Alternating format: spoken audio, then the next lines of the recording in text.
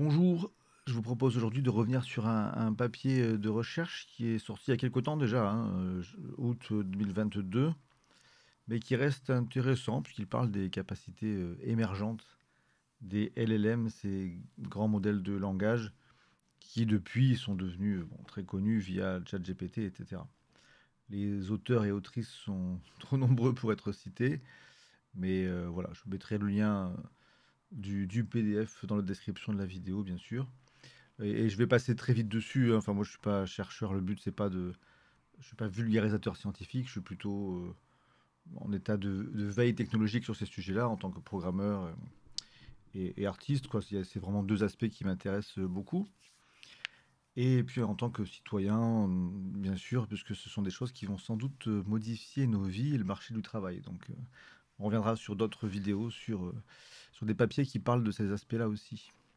Là, en l'occurrence, bah, je vais lire le petit, le petit abstract, enfin le, traduire. Euh, augmenter l'échelle des, modèles de langage a montré que cela pouvait euh, augmenter les performances de manière prévisible, mais ce papier discute plutôt d'un phénomène imprévisible auquel on, on se réfère ici en tant que emergent abilities, donc capacité émergente dans les LLM, les modèles de langage euh, type ChatGPT et autres. Nous considérons qu'une capacité est émergente si elle n'est pas présente dans des modèles plus petits, mais qu'elle est présente dans des modèles plus grands. Ainsi, les capacités émergentes ne peuvent pas être prédites simplement en extrapolant les performances d'un petit modèle. L'existence de telles émergences soulève des questions euh, sur le fait, euh, bah, est-ce que l'augmentation de, l'échelle de, travail pourrait ajouter encore de nouvelles capacités au modèle de langage? Voilà le, résumé. Le résumé, on va détailler un tout petit peu, mais pas énormément. Ça, commence avec des définitions. Donc voilà, la définition en une phrase de ces capacités émergentes, c'est donc une capacité est dite émergente si elle n'est pas présente dans des modèles euh, de petite taille, mais qu'elle est présente dans des grands modèles. Et on va, y revenir, mais il y a un côté justement euh, où, bah, quand, ils, expliquent hein, qu'on ne peut pas forcément prévoir euh, en, extrapolant les capacités des petits modèles, c'est qu'il y a vraiment des, capacités qui n'apparaissent que quand on augmente certains, paramètres de travail. Aujourd'hui, les modèles de langage ont été agrandis principalement suivant trois facteurs le nombre de calculs, le nombre de paramètres ou la taille du, dataset d'entraînement, de, la base de données de travail. Et euh, alors, ça prend l'exemple d'un type de, de- prompting, le few shot prompt task. Euh, le, le prompting, je mettrai le lien aussi euh, vers un, site, le Prompt Eng- Engineering Guide, qui peut être intéressant et qui, qui montre euh, d'autres exemples que ceux du PDF. je pense que c'est un peu, un peu plus clair dans ce document-là. Enfin, il y a un peu plus d'exemples en tout cas.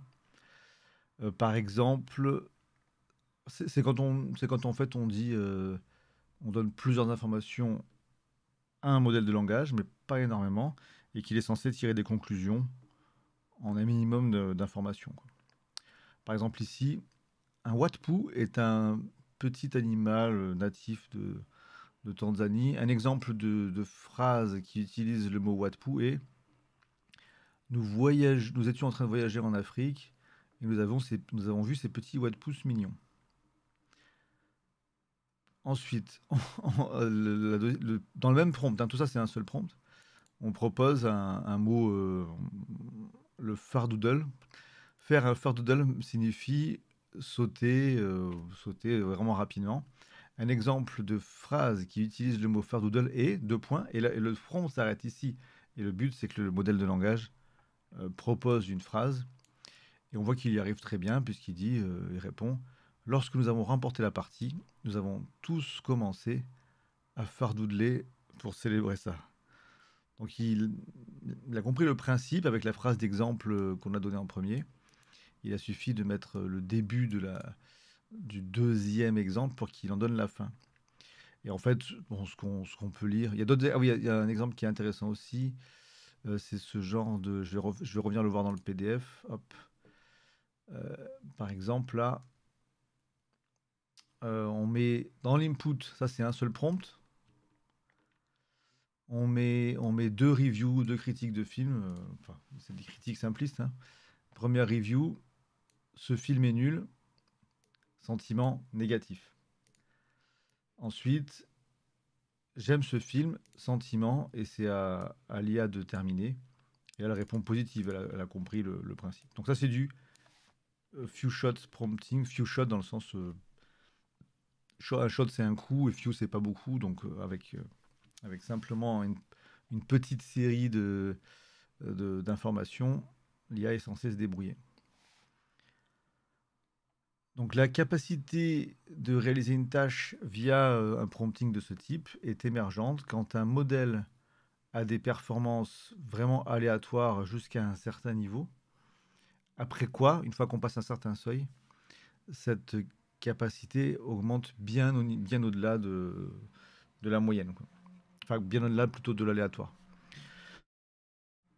Et en fait, bon, je ne vais pas aller en détail, mais ils disent ça parce que si je reviens ici, là, si je reviens dans cet exemple, on voit qu'on peut faire des prompts aléatoires de ce type. Genre par, par exemple ici, c'est génial, on l'associe à un truc négatif, ce qui n'est pas forcément logique. C'est mauvais, on l'associe à un sentiment positif. Ah, ce film était génial, on l'associe à du positif, là ça paraît correct. Et euh, oh là là, quel spectacle horrible, et là on lui demande de, réagir. Donc en fait, quand on met des des, comment, des inputs un peu, un peu random, on peut voir un peu comment se comporte le, moteur.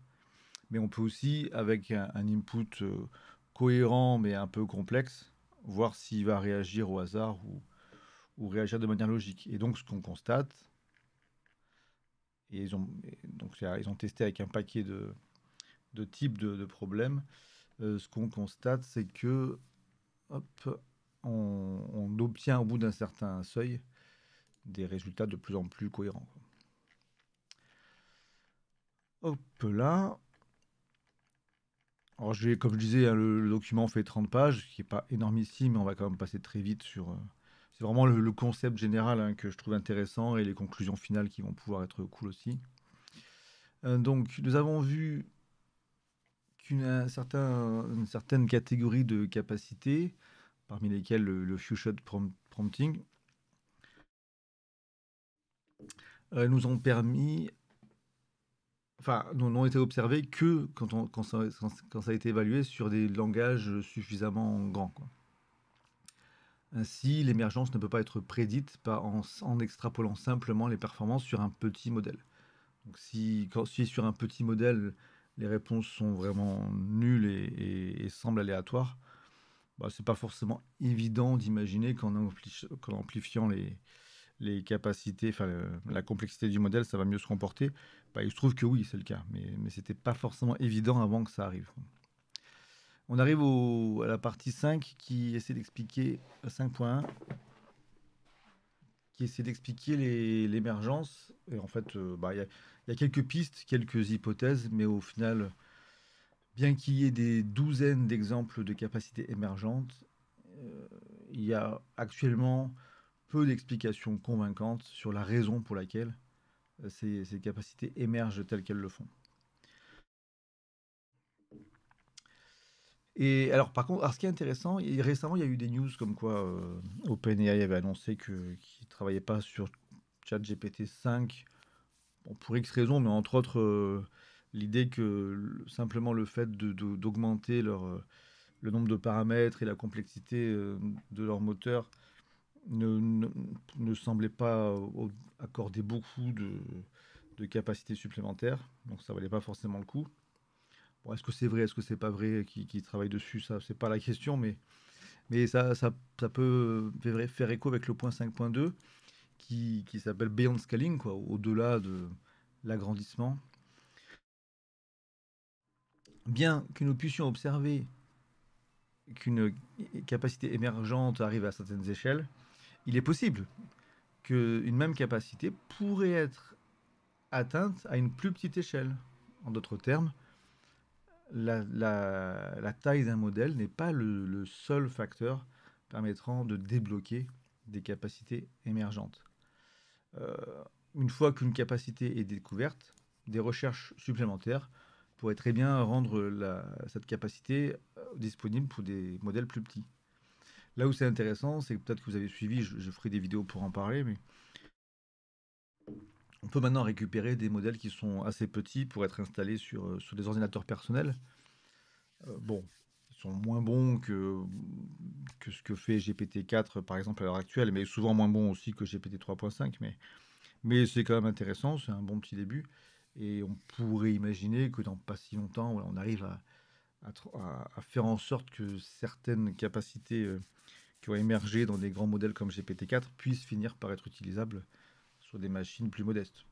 Bon, ce n'est pas, pas garanti euh, pour, pour tout de suite, mais c'est une possibilité. La partie 5.4 euh, évoque les risques qui peuvent émerger en même temps. Donc les, risques sociaux au niveau de, bah, des, biais, la toxicité qui peut, qui peut émerger en n'étant pas présente au début et, se révéler euh, problématique plus tard. Donc il y a eu des expériences qui ont été faites. Il y a d'autres papiers qui sont liés, sur lesquels je reviendrai peut-être aussi, hein, qui vont sur des points précis euh, de, ces, informations-là. Donc par exemple ici, alors, bien qu'il y a quand même des points un peu rassurants, bien que des, des modèles de langage puissent produire des réponses plus toxiques à partir d'un dataset euh, qui a été fait dans ce, sur ce type de recherche, ce comportement a pu être mitigé, euh, amoindri, en donnant au modèle des prompts avec des exemples qui montrent euh, comment être bienveillant, etc., honnête. Donc il y a toujours du travail qui peut être fait, et on voit que c'est ce que fait OpenAI sur, sur GPT 3 et 4, hein. avec notamment sur Reddit beaucoup de gens qui se plaignent régulièrement en disant mais on peut plus faire ça sur ChatGPT. Il y a toujours des, personnes qui vont chercher à, couper les censures, à faire du jailbreaking pour euh, obtenir des, des, ChatGPT complètement barrés qui peuvent tout, faire et tout dire. Mais c'est vrai qu'il y a des limitations qui sont petit à petit rajoutées par OpenAI. Et a priori, moi je ne m'en suis pas servi pour faire du euh, demander des conseils légaux, surtout que c'est plutôt, je pense, surtout les lois américaines qui doivent être euh, bien traitées. Mais des personnes se sont plaintes du fait que ChatGPT ne donne plus autant de conseils légaux qu'auparavant et s'interdit de le faire. Bon, on peut, on peut voir ça comme un, comme un problème, mais, mais en tout cas, je pense que c'est lié au fait que, que OpenAI essaye d'éviter euh, les hallucinations qui pourraient être dangereuses dans, dans des cas euh, importants dans la vie réelle. Ils essaient aussi sans doute d'éviter des procès, mais bon. Euh, voilà. Une étude disait que les modèles GPT-3 étaient plus, enfin, au fur et à mesure qu'ils grandissaient, ils pouvaient euh, reproduire des, falsifications humaines plus facilement. C'est vrai qu'on est, est, pas là. Si ça commence un peu à arriver, mais les, les arnaques sur Internet vont probablement être de plus en plus difficiles à, discerner euh, avec ce genre d'outils. Hein. C'est surtout les personnes âgées qui vont être en première ligne, comme souvent dans ce genre de cas. Mais bon, je ferai d'autres vidéos sur le sujet, je ne vais pas m'y attarder. Euh, bien sûr, en plus, bah, c'est le principe même de l'émergence. Les risques émergents pourraient aussi inclure des phénomènes qui n'existent pas encore et qui vont exister lorsque les prochains LLM auront d'autres capacités. ils font quand même des hypothèses. Hein, des, ça pourrait être des vulnérabilités type backdoor, euh, des, euh, de la tromperie par inadvertance ou de la synthèse de contenu dangereux, etc. Donc il y a pas bon, on est là on est sur des, des hypothèses futures, mais en tout cas, vu qu'on parle d'émergence par rapport à des choses qui sont difficiles à prévoir, les risques aussi peuvent être difficiles à prévoir. Au niveau des changements sociétaux, là on, on revient sur l'idée que, bah, que les, les, moteurs de langage, là, comme ça, ont, en fait, au début, ont été vus, comment dire, pour l'essentiel, on peut supposer que ça a été d'abord euh, travaillé pour, euh, bon, en tant que recherche fondamentale, mais aussi pour tout ce qui est traduction et compagnie, enfin juste de manière euh, avec vraiment avec le langage en tête. Et en gros, cette partie explique que, bah, qu'au final, les utilisations sont beaucoup plus larges que ce qui avait été prévu à la base et que ce n'est pas simplement ce qui était dans les données d'entraînement euh, qui, représente euh, l'utilisation potentielle de ces moteurs. Avec quelques exemples, hein, euh, le fait qu'on a utilisé ces modèles pour faire, faire agir des robots. Il y a eu tout récemment d'ailleurs sur Twitter des, démonstrations de ce type. on peut commencer à faire du raisonnement multimodal, donc mélanger texte, image, son, etc. Ça parle aussi de GitHub Copilot, donc la, programmation assistée par IA, etc., etc. Donc les usages, entre guillemets, euh, en, dehors des capacités précises qui peuvent être émergentes, on peut, aussi parler d'usages émergents dans le sens où on va beaucoup plus loin que la simple compréhension de texte. Euh, la partie 5.6 parle des directions possibles pour le bah, l'avenir en fait. Hein. Euh, donc bien sûr l'augmentation de la taille des modèles, ça a été cité plusieurs fois, mais comme c'est une limite, d'après OpenAI, ce serait une limite euh, qu'on serait déjà en train d'atteindre. Il y a d'autres pistes comme l'amélioration des modèles d'architecture et de l'entraînement, euh, l'augmentation des données sur lesquelles on va se baser. Il y a aussi euh, d'ailleurs IBM est en, train de travailler sur des, nouvelles, des nouvelles puces. enfin, je ne sais plus exactement quel type de matériel sur lequel ils travaillent, mais, ils sont en train de, bosser sur un, un, aspect vraiment physique qui pourrait les aider à, à débloquer un peu des économies sur ce type de sujet. Euh, on cite aussi l'amélioration des techniques et, la compréhension du prompting. Donc peut-être que le métier de prompt engineer aura finalement du sens un jour. Euh, les tâches frontières, enfin les tâches un peu limites, c'est-à-dire en fait tout ce qui pour l'instant ne marche pas très bien, souvent, hein, les gens qui découvrent euh, ChatGPT essayent de le piéger, et puis on peut le piéger, c'est facile, il y a quand même des, des raisonnements mathématiques ou autres qui sont... Et puis si on essaie de le faire jouer aux échecs, il se débrouille très très mal, etc. Donc tout ce qui est un peu à la frontière de ce que ChatGPT sait faire pour l'instant, bah, ça fait partie des, tâches sur lesquelles les chercheurs ont tout intérêt à, passer du temps pour voir à, quel moment et sous quelles conditions les modèles pourront devenir bons dans ce genre de choses. Là, on touche un peu à la recherche de l'AGI, l'Artificial General Intelligence, une IA générale, qui pourrait euh, comprendre toutes sortes de problèmes comme, comme un humain. Et bien sûr, dernier point, le fait de comprendre l'émergence, tout simplement. Hein. on dit souvent de, ces IA que ce sont des boîtes noires avec beaucoup de réseaux de neurones dans lesquels on ne peut pas plonger comme dans un code de programmation. Bien sûr, il y a de ça, mais ça n'empêche pas d'essayer d'analyser euh, euh, la relation entre l'émergence et les données qu'on a données en entrée, etc. Il y a plein de choses, plein de pistes, bien sûr. Donc, ça fait partie de, ce qu'on peut explorer. En conclusion, alors nous avons discuté des capacités émergentes des LLM euh, pour qui euh, c'est principalement au niveau de l'augmentation d'une certaine échelle que qu'on a obtenu des résultats significatifs les capacités émergentes peuvent recouvrir euh, toute une variété de modèles de langage, types de tâches, euh, scénarios expérimentaux. De telles capacités sont une découverte récente de l'augmentation, liée à l'augmentation de la taille des LLM. Et les questions sur bah, comment elles émergent et est-ce que des augmentations d'échelle supplémentaires pourront faire émerger d'autres capacités bah, tout ça semble être euh, un point important des, futures recherches sur les modèles de langage.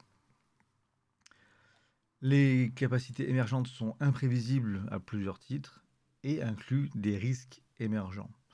Nous pensons que ces, phénomènes bah, justifient une étude soigneuse et, et soulèvent des questions importantes dans ce domaine. Voilà, bon, c'est c'est tout. Hein. Je ne vais pas aller plus loin sur ce papier-là. De toute façon, je vais faire des vidéos sur. Euh, il y a encore plein de papiers qui sortent tout le temps. Donc, j'essaie de faire euh, le plus synthétique possible.